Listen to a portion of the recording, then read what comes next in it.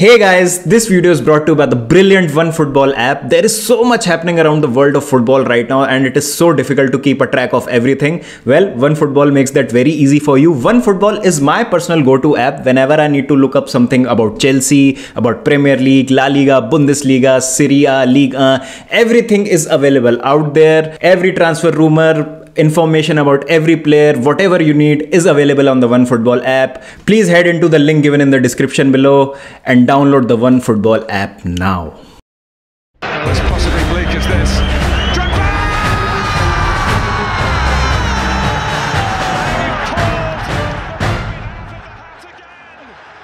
Hello guys and welcome back और आप सोच रहे होंगे कि एक हार के बावजूद भी और इतना खराब जो सीज़न जा रहा है उसमें एक और जो रिज़ल्ट है, वो हमारा ईयरफोन निकाल लेते हैं ईयरफोन क्यों लगा रखा है? हाँ तो इतना जो खराब रिज़ल्ट आज आया है और जो खराब सीज़न जा रहा है, उसके बावजूद भी क्यों मेरी आवाज़ में थोड़ी सी आपको एनर्जी दिख रही है? क्योंकि मेरे हिसाब से आज की परफॉर्मेंस स्पेशली फ़र्स्ट हाफ़ में काफ़ी अच्छी थी। एक मैनचेस्टर सिटी के अगेंस्ट जो कि आसान नहीं होता। मैनचेस्टर सिटी के अगेंस्ट खेलना बिल्कुल भी आसान नहीं होता। अभी दो दिन बाद फिर हम मैन सिटी से खेल रहे हैं एफए कप में।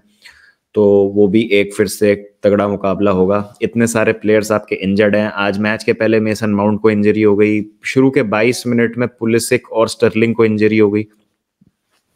तो इतने सारे प्लेयर्स जब आपके इंजरी से बाहर हैं। दस ग्यारह कुछ प्लेयर्स चेल्सी के फ़र्स्ट टीम के इंजरी से बाहर हैं।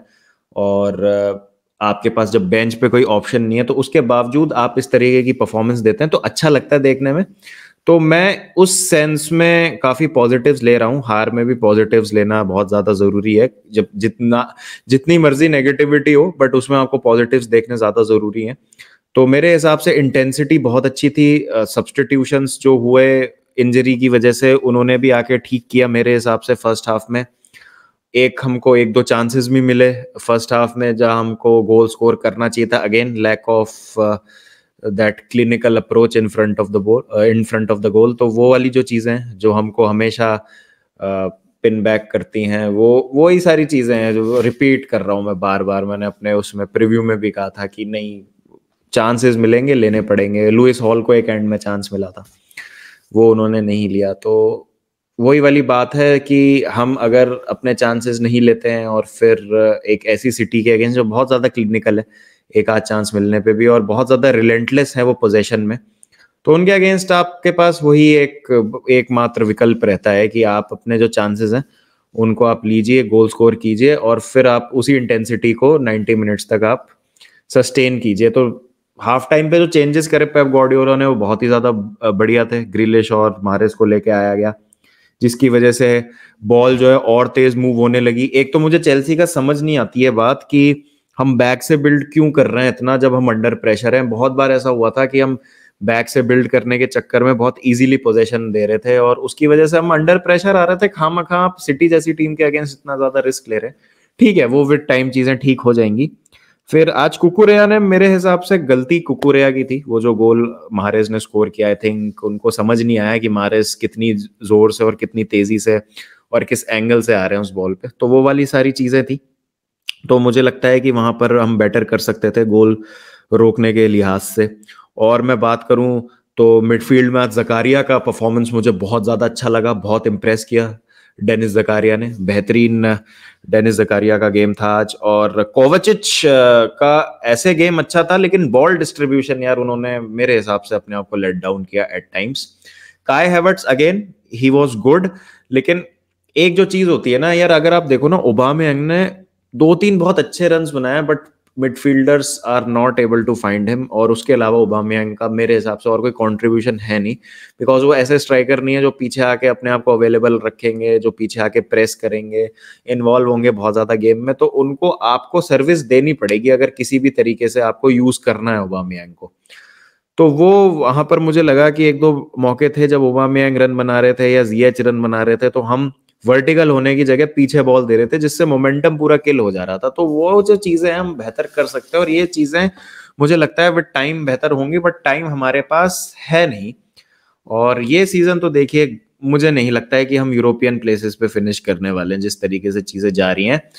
क्योंकि चीज़ें ठीक हो जाएँगी, वो ठीक है इवेंचुअली टाइम लगेगा, लेकिन कंसिस्टेंसी अभी हमको जो शॉर्ट टर्म में अचीव करनी है, वो हमको मिल नहीं पा रही है, क्योंकि जैसा मैंने कहा इंटेंसिटी जो हमको बोनमत के अगेंस्ट फ़र्स्ट हाफ़ में देखने को मिली थी, वो सेकंड हाफ़ में नहीं थी। नॉटिंगम फॉरेस्ट तो पूरा ही गेम हम बहुत ऐसे खेल रहे थे, जैसे एक फ्रेंडली सा मैच हो। और आज भी फिर से सेम चीज़, जो इंटेंसिटी फ़र्स्ट हाफ़ में थी सेकेंड हाफ़ में वो हमको एफर्ट देखने को नहीं मिला। अब बात करते सब्सटीट्यूशन की, जो की है ग्रैम पॉटर ने तो ग्रैम पॉटर के पास तो जो था, उन्होंने सब कुछ आज फ़ील्ड पे डाल दिया, उन्होंने चुकवा मेका को डाल दिया, लुइस हॉल डाल दिया, गैलेगर डाल दिया, जो भी ऑप्शंस थे आपके पास, आपने सब यूज़ कर लिए। तो मैनेजर की भी यार एक बहुत अजीब सी और खराब सी सिचुएशन है प्लस प्लेयर इंजर्ड नहीं है। जो प्लेयर खेल रहे हैं, वो या तो क्वालिटी नहीं है उनमें, या वो सेटल्ड नहीं है टीम में। सेटल्ड ऐसे कि अब मैनेजरियल चेंज हो जाते हैं सिस्टम चेंज हो जाते हैं तो कहाँ से एक प्लेयर जो है वो अपने आप को पाएगा एक सिस्टम में फिट और वो फिर अपना बेस्ट दे पाएगा। तो आप समझने की कोशिश कीजिए सिचुएशन को बहुत ज़्यादा कॉम्प्लिकेटेड है। मेस में है समय, जो टीम है और पूरा जो सिस्टम है, उसको ठीक करने में टाइम लगेगा और ठीक हो जाएँगी चीज़ें मेरे हिसाब से। तो मैं तो देखिए पॉजिटिव रहना पसंद करता हूँ। मैं रिएक्शनरी होके नहीं बोलूँगा बहुत ज़्यादा कि यार पॉटर को आप हटा दीजिए, आप इस प्लेयर को निकाल दीजिए, उस प्लेयर को निकाल दीजिए। हाँ आपको चॉप एंड चेंज करने की ज़रूरत है आई थिंक कुछ अंडर पार प्लेयर्स हैं जिनके बारे में मैंने बात की है, जिनको आपको एक बार आपको नज़र डालनी चाहिए, क्योंकि अगर आप नए प्लेयर्स को टारगेट कर रहे हैं तो टाइम है कि आप मूव ऑन करें उन प्लेयर्स से और नए प्लेयर्स को इंटीग्रेट करने की कोशिश कीजिए टीम में और, देखिए, ये सीज़न फ्री हिट है। मैंने सब चेल्सी फैंस को कहा है कि आपको पेशेंस रखना पड़ेगा ट्रोलिंग जो हो रही है उसको सहना पड़ेगा और अगर आपको ज़्यादा ही प्रॉब्लम है ट्रोलिंग से तो आप सोशल मीडिया पे मत लीजिए क्योंकि बात यह है कि आज की तारीख में हमको, हमारी टीम के फेलियर से ज़्यादा ये डर लगता है कि राइवल फैंस हमको ट्रोल ना करते हैं बाकी के फैंस जो है, वो हमको किस तरीके से जो है, जलील कर रहे हैं सोशल मीडिया पे, वो हम सहन नहीं कर पाएँगे। तो ये तो बहुत ही, देखिए, मैं कहूँगा, लेश मात्र सी छोटी सी बात है। तो इतना आप, मेरे हिसाब से आप लोड मत लीजिए, चीज़ें जो है बेहतर हो जाएँगी। पॉजिटिव्स देखिए, आज की परफॉर्मेंस में ये देखिए कि अगर हमारे कुछ दो तीन प्लेयर फिट होके वापस आ जाए तो इंटेंसिटी में खासा हमको एक चेंज देखने को मिलेगा। मेसन माउंट की मेरे हिसाब से कमी आज बहुत ज़्यादा खली। जो इंटेंसिटी और एफर्ट मेसन माउंट लेके आते हैं, वो अगर आज हमको थोड़ा सा मिलता तो बेटर हो सकता था, क्योंकि मुझे नहीं लगता कि सिटी इतना अच्छा खेली। हम ये मैच जीत सकते थे या एटलीस्ट ड्रॉ तो करा ही सकते थे। तो उस लिहाज से थोड़ा सा मैं डिसअपॉइंटेड हूँ बट जैसा ये हो रहा था ना कि चेल्सी बिल्कुल ओवररन हो जाएगी और बिल्कुल फोर नील फाइव नील से मारेगी सिटी तो चेल्सी को। वो चीज़ नहीं हुई और मेरे हिसाब से फ़र्स्ट हाफ़ तो काफ़ी बराबरी का गेम था। सेकंड हाफ़ में सिटी डोमिनेट किया उन्होंने और उसके बावजूद लास्ट में हमको एक दो हाफ़ चांसेस मिले जो हमको लेने चाहिए थे या हमारी डिसीज़न मेकिंग बेटर होनी चाहिए थी। वो ही सारी चीज़ें। केमिस्ट्री की कमी है। अब काफ़ी सारे प्लेयर्स वर्ल्ड कप से वापस आए हैं। शार्प नहीं लग रहे हैं। पता नहीं for some strange reason Kovacic obviously मतलब उनका वर्ल्ड कप अच्छा रहा था बट अभी दो मैचेस से वो उतने मुझे शार्प लगे नहीं है। तो वो सब चीज़ों में टाइम लगेगा, फिर उसके बाद ग्रैम पॉटर अपनी प्लेइंग इलेवन धीरे धीरे फिगर आउट कर रहे हैं सिस्टम फिगर आउट कर रहे हैं। शुरू में बैक थ्री खेल रहे थे वर्ल्ड कप से पहले, अब बैक फोर खिला रहे हैं, फिर उसके ऊपर प्लेयर्स की इंजरीज फिर नए प्लेयर्स की साइनिंग हुई है, उनको इंटीग्रेट करना टीम में। तो इन सब चीज़ों में टाइम लगता है। अब वही है कि अगर आप देखें इस तरीके से, यार पॉटर की तो कोई पर्सनैलिटी नहीं है, बहुत ज़्यादा वो कंफर्टेबल लगते हैं। और वो जिस तरीके की बातें करते हैं these are not good signs तो मैं उससे डिसअग्री करता हूँ। आप किसी एक बंदे को इतने कम टाइम में जज ही नहीं कर सकते, जबकि वो ऐसे टाइम में उन्होंने टेक ओवर किया है इस क्लब को, जब बहुत ज़्यादा दिक्कतों में था क्लब और ओनरशिप चेंज हुई है, फिर थॉमस टूकल और ओनर्स की बनी नहीं तो अब क्या कर सकते हैं? देखिए मूव ऑन करना पड़ेगा। आपको लाइफ में आगे बढ़ना है तो पीछे मुड़ के मत देखिए। थॉमस टूकल को सैक कर दिया कर दिया। मुझे भी बहुत दुख हुआ था उस टाइम बट अब क्या कर सकते हैं? ग्रैम पॉटर हमारे मैनेजर है। हमको ग्रैम पॉटर को टाइम देना पड़ेगा, उनको बैक करना पड़ेगा। और आज की जो परफॉर्मेंस थी प्लीज़ उसमें आप थोड़ा सा रियलिस्टिकली होकर सोचिए कि अगर जो हमको 45 मिनट में इंटेंसिटी दिखी, वो अगर हम उसको कैरी फॉरवर्ड करें आगे के दो गेम्स में तो चीज़ें देखिए, ठीक हो सकती है। हमको क्या, एक रन चाहिए। एक तीन चार मैचेस का रन चाहिए जहाँ पे दो विन दो ड्रॉ इस तरीके का कुछ पॉइंट्स मिले ना थोड़ा सा कॉन्फिडेंस वापस आएगा। मैं टॉप फोर टॉप सिक्स की रेस से तो अपने आप को अभी भी ही मान रहा हूँ। मैं तो जस्ट एक पॉजिटिविटी कैसे लाई जाए इस कैंप में, इस पूरे माहौल में वाइब को बेहतर कैसे किया जाए, उसकी मैं बात कर रहा हूँ। और कंसिस्टेंसी की ज़रूरत है। प्लेयर्स को 90 मिनट तक उस तरीके से खेलने की ज़रूरत है। We need players who can play for Chelsea और होपफुली जो नई साइनिंग्स हैं वो आके इस चीज़ को बेहतर करेंगे। होपफुली जो हमारे प्लेयर्स इंजरी से बाहर हैं, जो जानते हैं कि इस क्लब के लिए खेलना क्या मायने रखता है, वो आके चीज़ों को बेहतर करेंगे।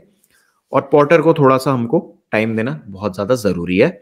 और आप थोड़ा सा मेरे हिसाब से पॉजिटिव्स ले सकते हैं यार। और मैं ये नहीं कहूँगा कि प्राउड आप फील कीजिए, हमने बहुत कुछ किया आज की परफॉर्मेंस में बट हाँ baby steps slowly and gradually improvement जो है वो हमने दिखाई है और जैसा मैंने कहा, जकारिया का परफॉर्मेंस फिर हैवर्ट्स ठीक है मतलब for sixty seventy minutes he was good लेकिन अगेन वो एक पास आगे करते हैं, फिर चार पास पीछे करते हैं और और भी मतलब कुकुरेया आई थिंक यार थोड़ा सा डिफेंसिवली उनको मतलब सॉर्ट करनी पड़ेंगी चीज़ें। वो ठीक है, वो चिलवेल और कुकुरेया का रोटेशन खिलाने के हिसाब से कुकुरेया को लाया गया था तो तो सही था बट आई थिंक मेन हमारे जो फुल बैक है लेफ़्ट साइड पे वो चिलवेल ही होंगे।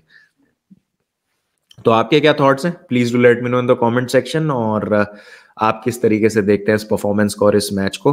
And do you still think Potter is the problem players are problem या जो ये पूरा चेंज हुआ है ओनरशिप का वो ट्रांजिशन में दिक्कत हो रही है, अपने थॉट्स आप शेयर कीजिए। और मुद्दे वाली बात कीजिएगा, देखिए ट्रोलिंग चलती है बैंटर चलता है तो वो चलता रहना चाहिए, उसमें कोई दिक्कत नहीं है, लेकिन थोड़ा सा आप, मैं मैं कहूँगा कि थोड़ा सा आप, अगर सेंसिबल बातें हम डिस्कस करें तो मज़ा उसी में ही है मतलब ठीक है, बाकी तो ऑब्वियसली बहुत सारे लोग हैं जिनको मज़ा ही आता है चेल्सी अगर ख़राब करती है तो बट आई थिंक साइक्लिकल होती है, जैसा निधि भैया ने भी कहा था स्ट्रीम पे सक्सेस अभी एक टीम की साइकिल ख़त्म हो गई है, दूसरी टीम की चल रही है, अब एक टीम की खत्म होगी, फिर दूसरी टीम की स्टार्ट हो जाएगी तो चलता रहेगा, ये तो फेयर है फुटबॉल का और जीवन का, इसमें ज़्यादा हमको लोड लेने वाली बात है नहीं। चलिए, फिर मिलते हैं नेक्स्ट वीडियो के साथ। ध्यान रखिए जब तक अपना। Take care and don't forget to keep the blue flag flying high